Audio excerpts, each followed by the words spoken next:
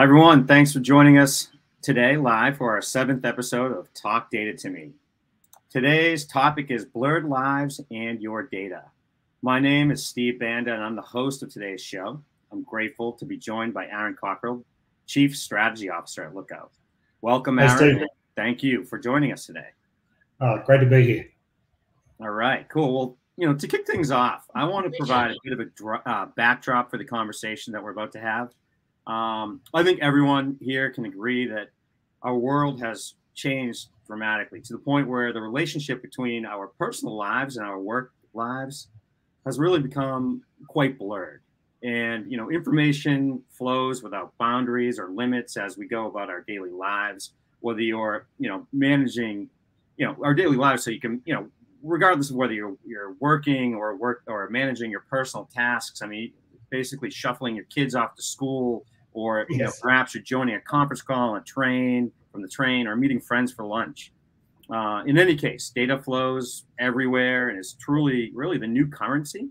And for that reason, you know, both business business information, individual information, uh, we really are gold mines now uh, for cyber criminals.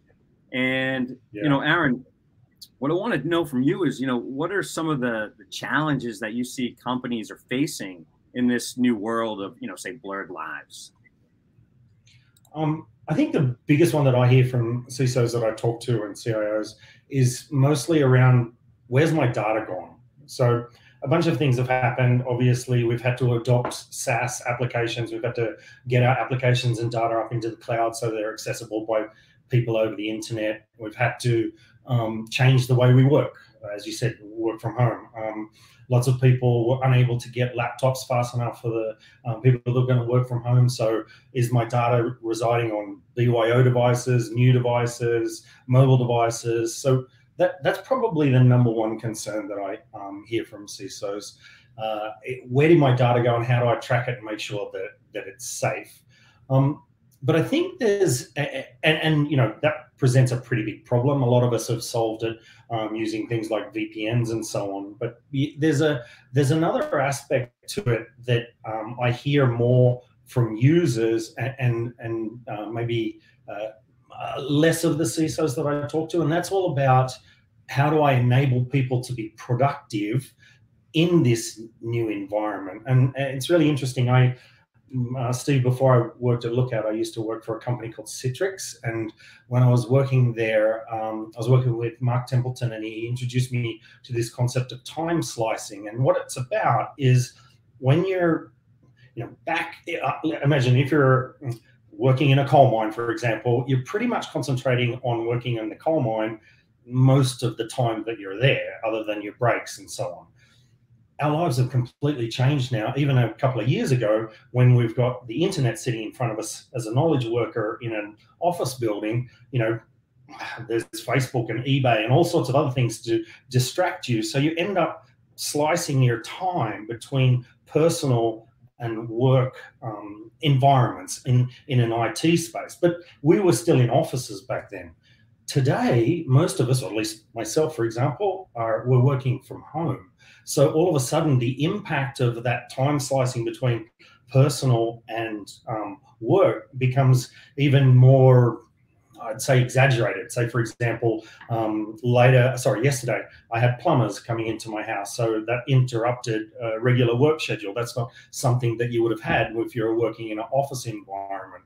So being able to elegantly swap between a work environment, especially from a computer compute uh, perspective and a, a, corp, a, a, personal environment, or to walk out to the kitchen and get a coffee, but still be able to maintain a Zoom call and that type of thing. It's become more complicated, and I think the slices are getting narrower and narrower. So this concept of productivity in this new hybrid um, hybrid work environment is an interesting one to study. And I think um, a lot of the more forward thinking CISOs and so on are really starting to grapple with that right now. Yeah, no, it is very interesting because I know, you know, I think about just my daily life too, and it's the same exact situation. I know everyone in this call is also feeling, you know, feeling it too. And we become busier and busier, right? So you need to kind of from a behavior standpoint, you say, okay, I'm shifting gears. Here I am working, and then I have to change gears and go do that personal task and come back to work and, and not make mistakes along the way, right? And use maybe different devices and applications. So there's all sorts of uh, dynamics at play here, and of course, data flow, you know, as that that overlay and that primary concern. Which kind of brings me to the my next question. Um, you know, I think you did a, you know, I appreciate you laying that out for you know that organization, that CISO level uh, and the challenges there. What if you were, you know, that that IT security individual that's their job is, you know, ensure our data is safe at all times? Like, what keeps that person up at night? Where where did my data go? where, where is it, and how am I protecting it? I think is probably the biggest one, like I, I mentioned. The, and and the ways that uh, the people that I speak to, uh, the sort of more modern approaches of, of, addressing this, one of the, the first areas of focus is, and I think Gartner highlight this a, a lot, most of, or many of the attacks that we see today that result in breaches aren't necessarily the result of malware, but are frequently the result of misconfiguration, especially of cloud services. I mean, as we adopted SaaS applications um, and, and cloud services in general over the last couple of years, we've had to become experts in literally hundreds of different SaaS applications in order to configure, say, access control policy and authorization, privilege, and so on in all these different apps. So it gets really an environments. So it's pretty complicated, and you know most um, mid to large size businesses will have potentially hundreds of different applications that they have to configure access control, authorization, privilege, and so on. And so that just is a you know it, the complexity introduces the likelihood of misconfiguration and bad actors are scouting for that all of the time these days so i think um, investing in the ability to identify those misconfigurations. So this is the, like, I think Gartner are categorizing it. I, I hate these acronyms, but um, SSPM and CSPM. So um, SaaS security uh, config, uh, SSPM. Uh, my God, I've forgotten one. We've got so many acronyms. Um, oh, yeah, um, but the, the idea is to protect yourself against mis or analyze your environments for misconfiguration. The, the other one that I see is the adoption of brokering technology to either broker uh, access into these cloud services. So the, the CASB or um, so cloud access security brokers. That's uh, that simplifies the configuration piece so that you can have singular policies for um, generic security problems. Like, say, for example, you could have a, a generic policy to try and protect um, uh, customer data, credit cards, any uh, structured data, so that you could have a policy across multiple SaaS applications or other cloud services to be able to identify from a DLP perspective if that data is leaving the building. So there's some of the um, that that's sort of the data side and and keeping things in the cloud. Oh, sorry, SaaS security posture management and cloud security posture management are those acronyms. Um, the other one is you've got to look at your end users and try and provide the same security services that you used to when they're in the building out when they're connecting from home quite frankly the the so think of it as moving your security into the cloud um, I mentioned the concept of DLP in the cloud uh, through these things like cloud access security brokers. The other part of it is um, egress or, or, connectivity from the end user up to the cloud. We were all protected by a firewall and a um, secure web gateway when we're in the building. That doesn't happen so much at home. So, in order to implement the same sort of controls to make sure that your employees are not um, clicking on phishing links and that sort of stuff, um, it's important to leverage some sort of uh, capability out at the endpoint to be able to um, filter the internet. Um, actually, while I'm on that, Steve, a, a lot of our uh, the CISOs that I talk to have actually done that using VPNs as an example. And you know, it's not a bad approach, and it's something that we had to do, especially to rapidly roll out remote access. Um, you know, uh, over the last couple of years. But um, when I mentioned the I, think in the security space, we're all familiar with the challenges from a security perspective of VPNs. It's bringing, um, you know, potentially unmanaged devices and unknown users into, uh, or, or just you know, authenticated users, but um, into the soft gooey center of our networks, which is dangerous. Um, but it's also it also represents a challenge from a productivity standpoint that I mentioned with this time slicing thing at the beginning. If you want, if I'm sitting at my desk here and I have to pay the plumbers that came in yesterday, and um, I, you know I'm going to PayPal them or whatever, I probably don't want to be using the VPN connectivity on my home computer while I you know access my own banking infrastructure I, I, do some sort of paypal transaction i do anything else that's that personal side of this time slicing. So that would mean that i would have to switch off the vpn or maybe jump to another machine um, but i'd switch off the vpn then i'd go and do my paypal transaction or whatever it is and get distracted on some other website and then i would um, jump back into work and i have to jump through the hoops to reconnect into the VPN, which is frequently um, authentication with two-factor. Um, you know, so I've got to find my token and enter the code and all that sort of thing. I think um, making our uh, the infrastructure that you use for work more elegantly available with more uh, like fast authentication, um, simplified authentication, and easy switching between environments is something that can also help security because it means that you don't have the end users turning off your VPN and you don't have um, the end users doing things that could be potentially dangerous and you make them happier and more productive. Yeah, so it sounds. I mean, VPN obviously is you know like yeah obviously has its its its purpose and its its applications, but it's becoming more of a kind of an outdated technology as these you know these newer solutions zero trust network access become available so you know it's a little bit of a shift there for sure i mean i, I guess one question for you aaron too is you know when it comes to our our endpoints you know i have this statistic here i think I, I share because i obviously you know now everyone can use any device they want but you know what does this mean to you here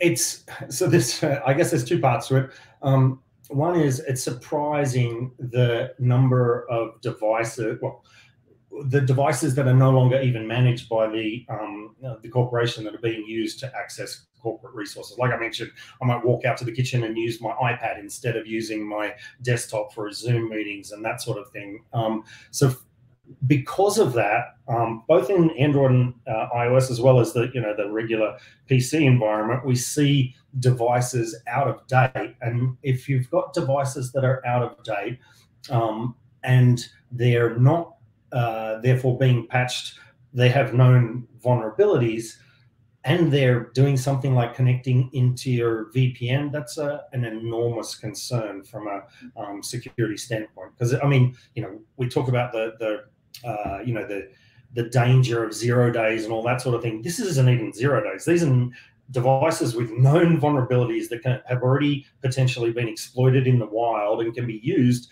to piggyback into your network, that sort of thing. So out of date devices and out of date operating systems and the extent to which we remain that way is uh, is troubling to me. yes. Yeah.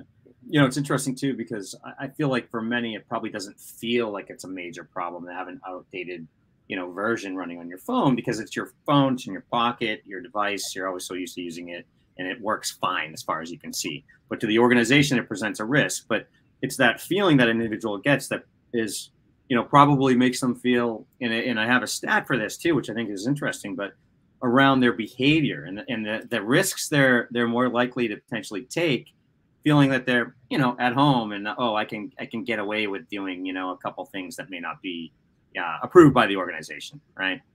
And and, and maybe I, like I, I don't necessarily know uh, understand that they would they can get away with things that they wouldn't have done in the office because hey, I'm paying for the internet here. It should not be filtered according to my work um, accepted use policies, for example. So and and that may or may not, depending on what you do on the internet, introduce incremental risk. So yeah, it, it, it, you're in a different mindset when you're at home. This is my internet connectivity. This is my PC. This is my environment. I'm safe at home. I don't know, have a business shirt on, but shorts underneath. I don't know how, how people are working from home, but it's uh, it's a, you're a more comfortable in doing things that you wouldn't do at the office. So absolutely, that introduces um, you know considerable more risk to, to most enterprises. So if you compound the fact that um, people are using unmanaged and out of date devices and doing riskier things than they would in the past, um, it's a it's a complicated, shall we say, environment in which to uh, enforce cybersecurity controls. Oh, very good. I mean, you know, I think you know we're we're definitely getting getting to the end of our time here, but I think um, you know for for the audience, when I think about you know addressing these problems, for me it it starts with getting that visibility, right? The visibility into what devices are connecting to your network, you know, how your user users are behaving, where your data is flowing. And then at that point, you can start to make the good decisions around, okay, well, what are the security policies to put in place to, to ensure that I'm protected and that our data is secure and that our our employees and, and workers can can function how they have to to, to ensure maximum productivity. Uh, I mean, that's how I kind of summarize it. You think I think I'm kind of on on target there, Aaron? Yep. Um, but the, the the one thing that I'd add, and this is sort of evolving as a, a new space right now for uh, security professionals, it's uh, focusing on rapid and easy user authentication and and um, better productivity through good usability. Uh, and that and that's changed dramatically since you know we moved out of the building and everything's gone into the cloud. So that that's the other one. Focusing on productivity securely is something that um, uh, I'm very interested in and something that I think that uh, uh, the audiences uh, audience should be watching. Very good. Excellent. Well, you know, with that, Aaron, I want to you know really thank you for for joining us today. I always appreciate your insights, and you know, I really want to thank everybody on the call um, for joining us and for continuing to to come to these LinkedIn in live episodes because we really enjoy them, and it's a nice way for us to connect with with you guys uh, as our audience. So, um, just a reminder: you can click the link in this post. You can read about uh, more about this in the, in the blog, and uh, definitely join us again for the next episode of uh, Talk Data to me. Have a have a great day. Cheers. Take care. Bye.